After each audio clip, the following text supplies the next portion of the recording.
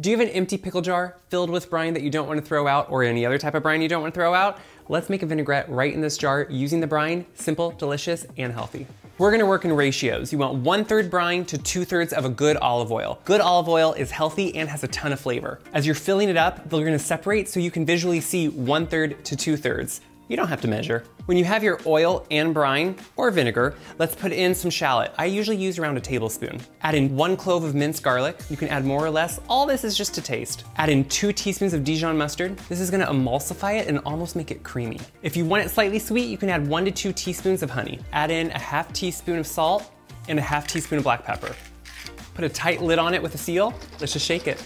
And now you have a great amount of vinaigrette. You can use it on salads, it's great on roasted vegetables, anything you want. And always remember, taste it to make sure it's good. Mmm, I love that. It's perfect every time.